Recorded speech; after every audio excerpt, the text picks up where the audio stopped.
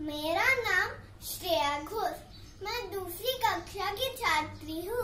मेरा कविता का विषय है पर्यावरण। पेड़ों को तुम काट रहे हो, प्रदूषण को पाल रहे हो। पेड़ों को तुम काट रहे हो, प्रदूषण को पाल रहे हो।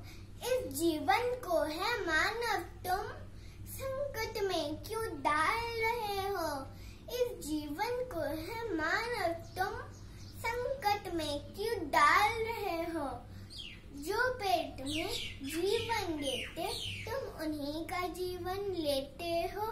पेड़ों को काट काट संकट को बुलावा देते हो। पेड़ों को काट काट संकट को बुलावा देते हो।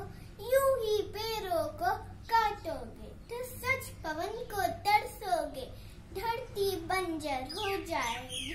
तुम अन्न, नीर को बंजर हो जाएगी, तुम अन्न को तड़पोगे।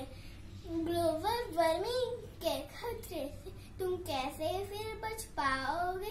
हर जगह प्रदूषण पाओगे, बीमारी से मर जाओगे। हर जगह प्रदूषण पाओगे, बीमारी से मर जाओगे।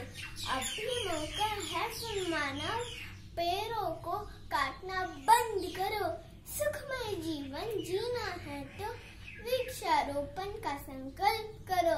सुखमय जीवन जीना है तो वृक्षारोपण का संकल्प करो।